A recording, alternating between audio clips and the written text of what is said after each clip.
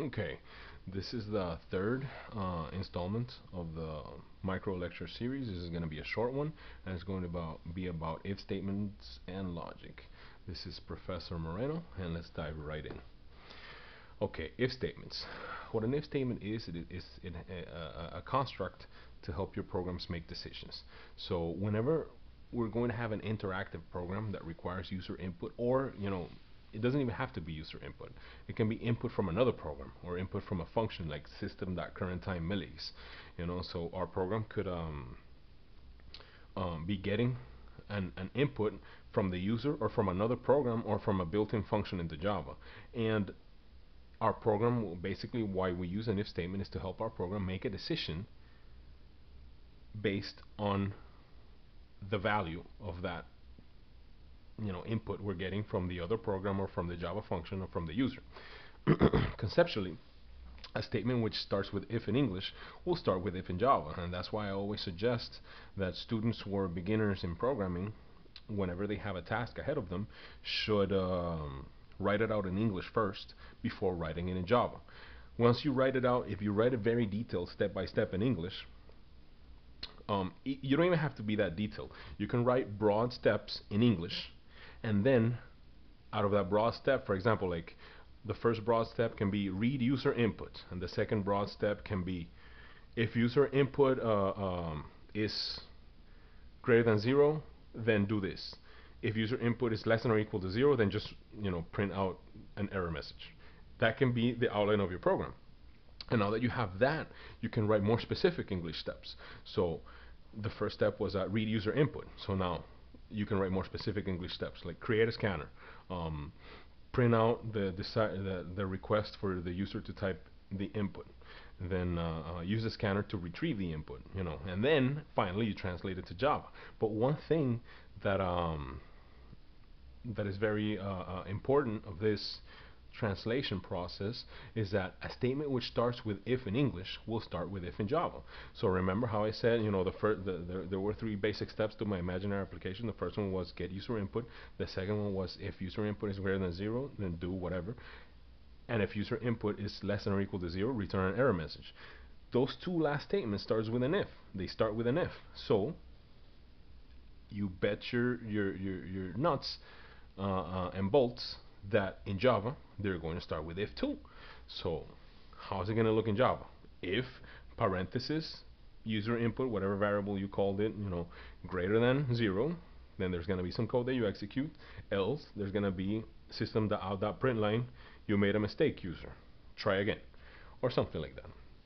So now, what the anatomy, uh, and that takes me to my next point, the anatomy of any statement at its most basic level is if, then you open a parenthesis, then you have a test, a logical test.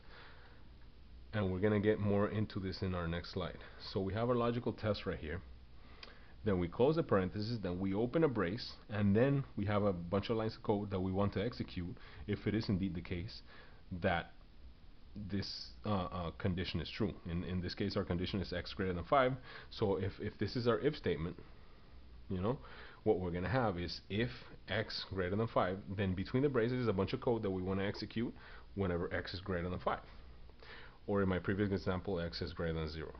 So now, now let's talk a, a, little bit more about that condition, that thing inside the if statement. Java textbooks call this a condition. In the context of logic, though, it's called a proposition. And, and pr a proposition simply is a statement which has a true or false value, and that is it. There is nothing else. There is no middle ground. It's either true or false. X is greater than 5 is definitely a statement like that. It doesn't matter what X is. It's either greater than 5 or it's not greater than 5. Um, that's it. So uh, for any value of X, doesn't matter in all the real numbers, imaginary numbers, whatever, it's either greater than 5 or it's not greater than 5. okay? And uh, uh, so it's the, the and that means that this whole expression right here x greater than 5 is either true or it's false. That's why it's a proposition. And uh, um, this is what we mean when we talk about stuff like A, like here, like A or B, right here. In this proposition, this is a compound proposition that has two propositions inside it. A is a proposition and B is a proposition. And this whole thing is also a proposition, A or B. And uh, what logic teaches us is how to decide what the value of this whole proposition, which is highlighted, is depending on the values of A and B. You know, if we can tell whether A is true or false, and whether B is true or false, then we'll be able to tell what the value of this whole proposition, A or B, is depending on the individual truth values of A and B. So again, you know, A and B are both propositions, and they could be something like x less than 5, or x greater than 100, or y less than 0, or whatever you want. What the actual proposition is doesn't matter. You have to think about think about it like it's algebra, okay? When you learn this little law right here in algebra, a plus b squared is equal to a squared plus 2ab plus b squared. It doesn't matter at all what a is, right? Or what b is, right? That's what we're doing here. We're giving you um, general laws, general laws to decide what this is, A or B, regardless of what A and B are. So we could have an example, um, x greater than 5, or x greater than 0. Uh, this can be our if conditional. x greater than 0 and y greater than 0. You know, that can be our if conditional right there. And what we're teaching you is how to decide what this is, this whole expression, based on this and this. Because that is pretty evident to you, you know, like once you're running through the logic of a program, you're going to know what x is. And you're going to know what y is. So you're going to know whether x is greater than 0 and y is greater than 0 or not. So what I'm trying to teach you is this, how to decide whether this is true or not being that let's say that you know that uh, x is not x is negative 5 and y is 0 so they're both not greater than 0 so this whole thing is going to be false. And that's it. That's what I'm trying to get across to you. That's what these laws are for. Um, now let's dig a little bit more deeply into the a uh, uh, into the or and and not.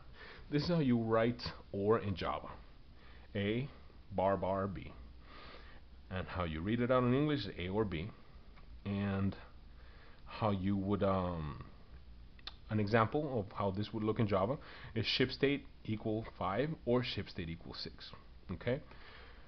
Um, and when is this true? This whole thing that we have highlighted right here is true when the variable ship state is either 5 or 6 it doesn't have to they both don't have to be true at the same time okay? Now let's look at this one. This is and. So this is how to write and in Java. A and A ampersand ampersand B. This is obviously how to say it in English. A and B. And an example of you know something in Java that using this that would use this is ship state equals three and name that equals Cletus. So let's say that you know our program is deciding whether to include an NRA postcard or not, and and the the the state, which is you know uh, assigned to the number three, is Tennessee.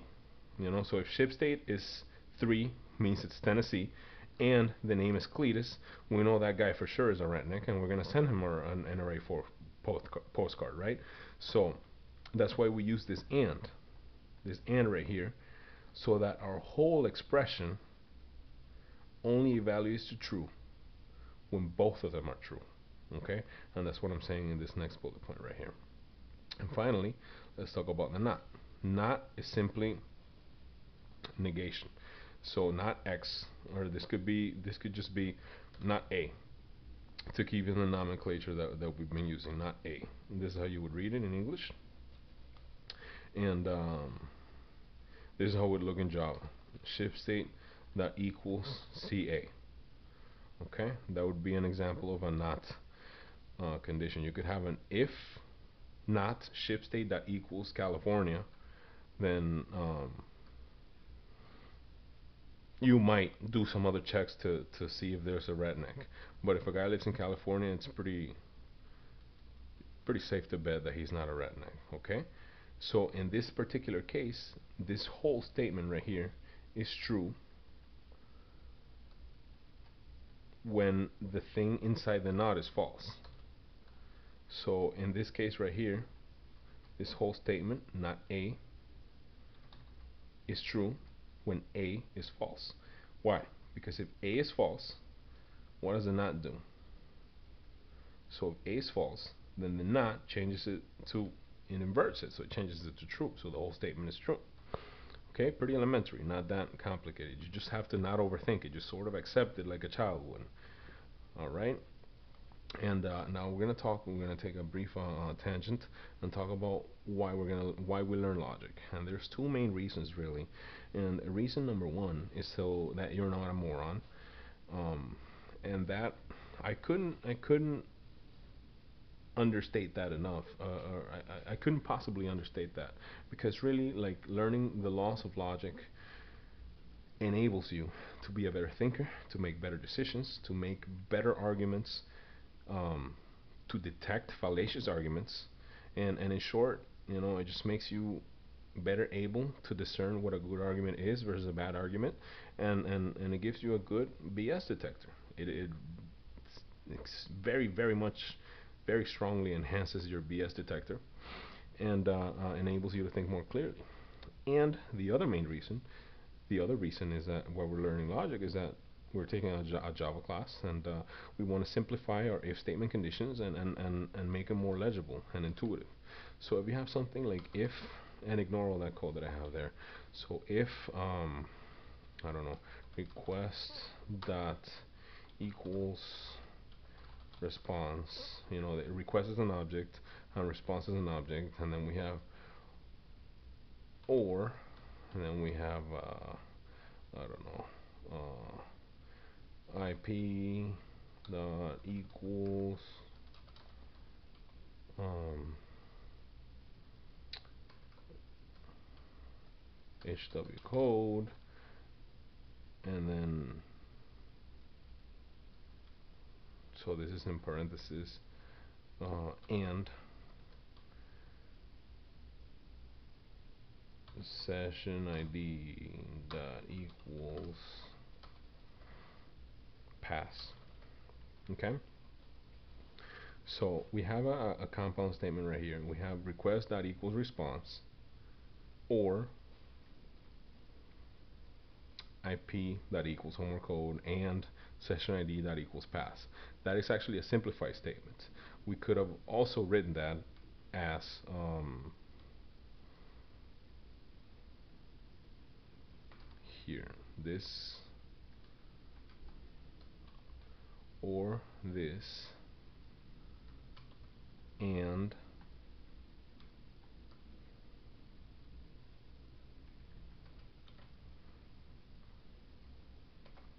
like that. I know that's getting off the screen, so let me enter it down. So this could be a compound uh, uh, statement like this, where this is the first part, request that equals response, response or IP that equals homework code, and request that equals response or session ID equals pass. Okay, and I'm just doing this to getting you used to, to seeing it in Java and seeing the practical application of it. So what I'm trying to say is that you can go back and forth between this statement and the one I had before. Okay, which is this one. So the two are equivalent, and whichever one is going to be more legible is the one that you should use.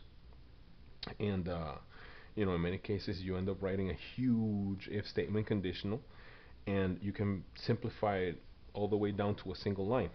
Um, and that's what logic is for, to make your, your code um, less error proof, less error prone, uh, more readable, and uh, easier to follow. Okay, and one thing that I do want to clarify a lot is this right here. If statements can have multiple propositions they refer to. So you can have if, you know, x is greater than 0 or y is greater than 0 or z is greater than 0 or i is greater than 0 or j is greater than 0 or k is greater than 0 and then a, a block of code down here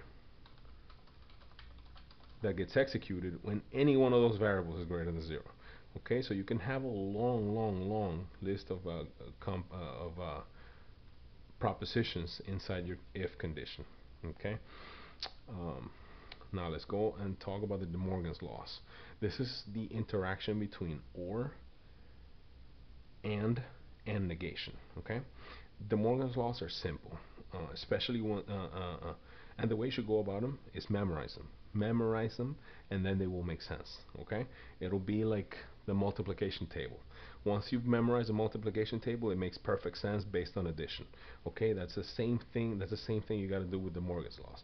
Just memorize them, and they'll make perfect sense afterwards. So what do we have here? This expression right here, the negation of a and b, is equal to this expression right here, the negation of a or the negation of b. That's the first De Morgan law. Pretty simple, not that hard to memorize. And the second one is the exact same, except you switch the and for or. So the negation of A or B is equal to the negation of A and the negation of B. Okay? Very simple. Just memorize those, know them, and be on the hunt for cases where you have this come up. Especially in an exam. You see or and an and in there, you know there's going to be De Morgan somewhere. So try to apply it. Okay? But when you're coding too, when you're coding too, you see, uh, you can have examples where you're you're looking for things not to be the same, and you have this is what will come up in code mo most frequently, right here. The the ones on the right hand side are the ones that are going to come up in code most frequently. Okay, not A or not B, you know, not B and not A, and then you can transform that into this and possibly simplify your if conditional by quite a lot. And then the final part of this uh, micro lecture is going to be the distributive laws. And the distributive laws is very similar to the algebraic distributive uh, laws. And what we have here is uh, A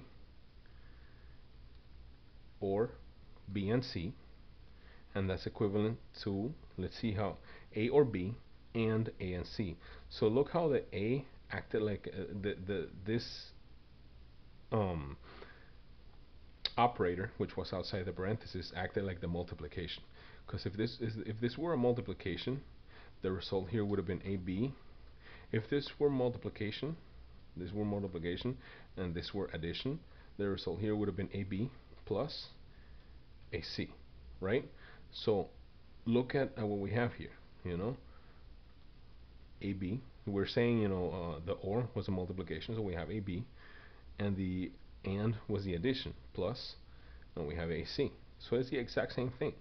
And um, now let's look at the other one we have, okay? Now, the one that's outside the parenthesis is AND. So that's the one that's going to be a multiplication.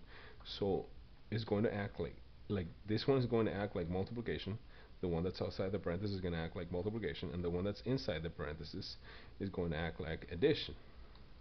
Okay? So, what does that leave us? AB plus AC. Once again, and we said the one outside the multi the the parenthesis was multiplication. So let's change it. And the one that was inside the parenthesis was addition. So let's change it. Now what does that leave us with? Exactly what we have over here. You see, very simple. Distributed laws are very simple. And uh, in, in general, in programming, this right here that I have highlighted, or this, is uh, what you'll encounter, okay? Um, these are the cases that you'll encounter that you'll think of intuitively, and your job is to make them simpler by doing the reverse distributive. So um, let me see if I think of an example here.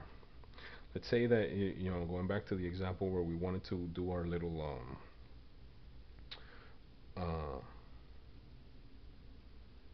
mailer. We were doing a mailer and we wanted to send out an NRA postcard to people who we thought were rednecks and would be interested in it.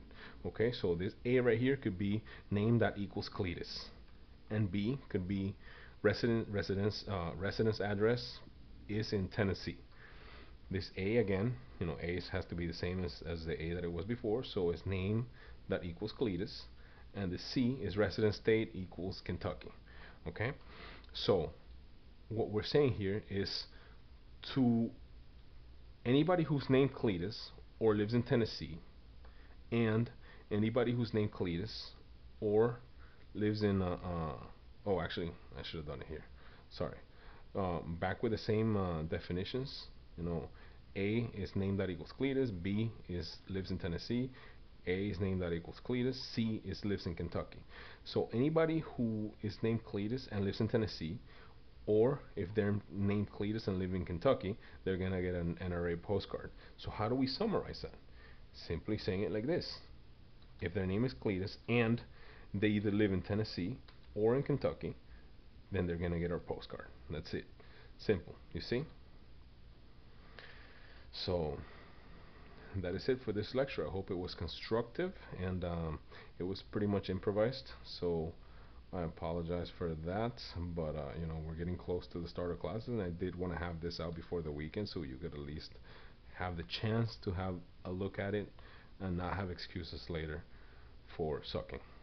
All right, I hope you had a great winter break. I look forward to seeing all of you and helping you uh, learn program some cool things. We're going to be doing some awesome things in the, this coming semester with a lot of graphical properties, and we're going to be using uh, uh, internet connections, and we're going to be using keyboard inputs and all this stuff. So I hope uh, you come with your big boy pants on and are ready to do some work and get some learning on. Have a good afternoon.